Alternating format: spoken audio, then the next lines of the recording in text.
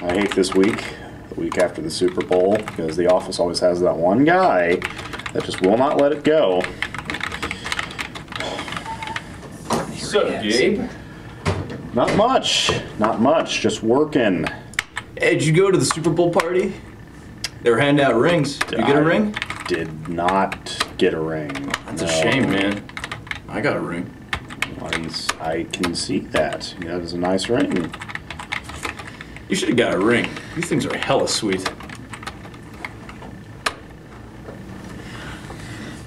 He's the guy.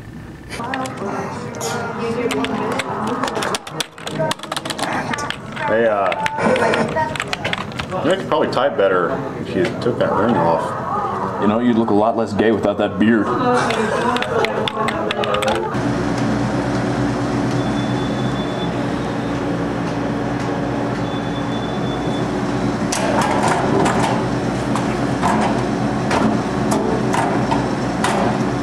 Hey, uh, should try taking that ring off. Maybe you could get that.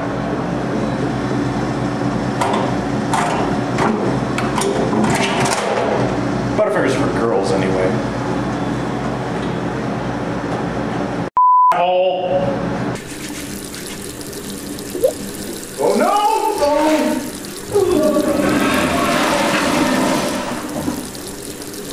Saved it. I'm faster than the auto flush. Oh, see it work. For the love of God. You know, Gabe, if I really wanted to, I can make a cast of this and then injection fill it with mold. Bam! Instant, actual, official. Look, Super shut Bowl. up, okay? No one cares about your damn Super Bowl ring. Oh, hey, Buck. Hi, Gabe. Hey, Oh, where's where's your ring, Gabe? Yeah, Gabe doesn't have a ring. You have a Oh, ring? Gabe doesn't have a ring. Gabe does not have a ring. Ring? Ring. Ring, ring, ring, ring, yeah, man. Oh, that's great.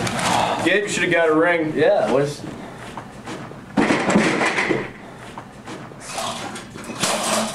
Should have got a ring. yeah?